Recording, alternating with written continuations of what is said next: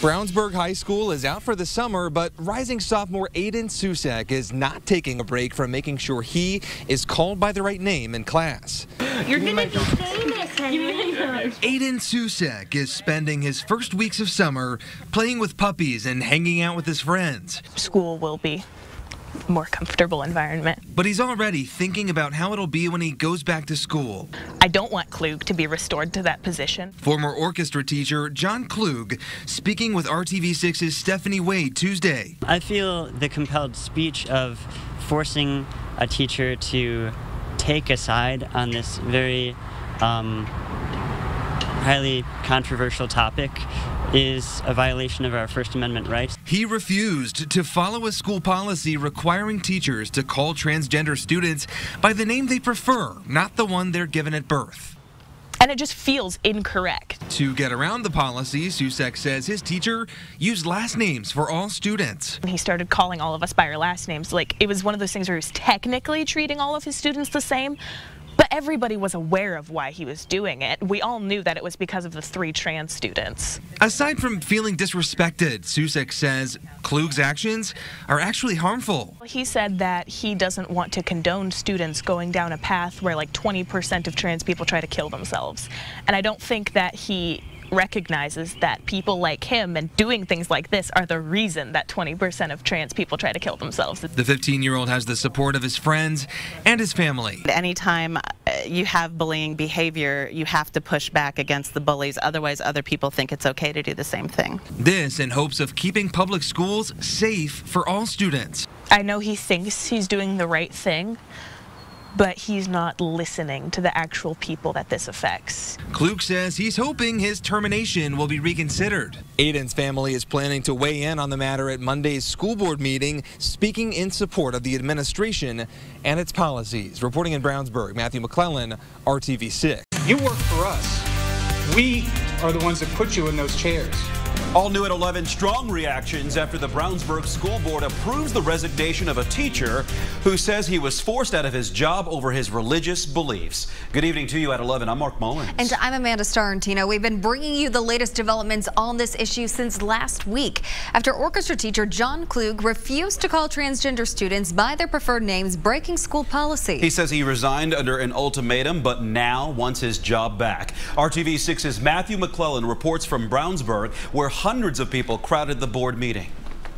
The board's decision tonight setting off a strong reaction on both sides of the matter, igniting debate over religious freedom, freedom of speech, and civil rights. Mr. Klug's resignation has been accepted by the school board. Those words sealing the fate of former orchestra teacher John Klug in attendance Monday night to plead his case. I've requested to appeal to the board. That request has been denied. Joined by his attorneys and his wife, he's still asking to be reinstated. Never pulled students aside and counseled them about their lifestyle choices. This all is about my ability to use last name only indiscriminately with all my students. A different story from the ones told by former students identifying as transgender.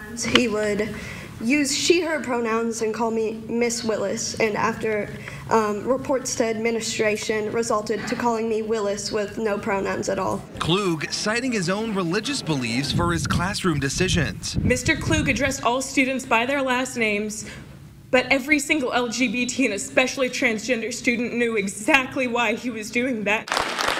Supporters say Brownsburg's policy protects transgender students from discrimination and violence. Opponents calling it a violation of religious freedom. His personal opinions have absolutely no place in a public high school. For Aiden Susek and students like him, they say school policy can mean the difference between life and death. Without the support, I would know I know many individuals, including myself, would not be in this world. For Klug, what it means is likely a job somewhere else. He declined to answer when asked what he plans to do next. Reporting in Brownsburg, Matthew McClellan, RTV6. Uh, we believe there's a constructed discharge here, that they unreasonably threw out an accommodation that was in place. They actually had a written agreement with John to allow John to actually express his convictions by using only last names of all the students.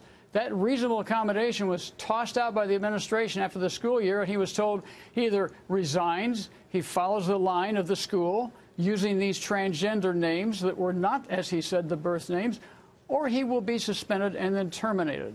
Those were the choices. That's a Hobson's choice. So, from the standpoint of our legal position, we believe we have a an illegal discharge. That's number one. But number two, the issue, the constitutional issue is can the government compel him to violate his religious beliefs?